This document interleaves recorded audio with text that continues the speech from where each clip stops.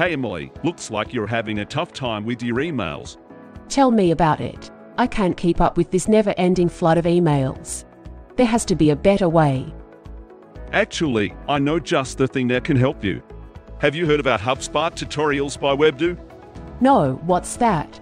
It's a great resource for learning how to make the most of HubSpot.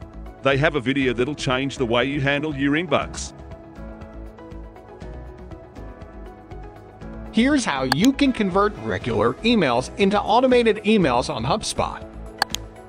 Go to the Marketing section. Click on Emails. Hover over the regular email you wish to convert into an automated email. Ensure that the regular email is not published. If it is, you can clone it and then proceed with the conversion. Click on Edit.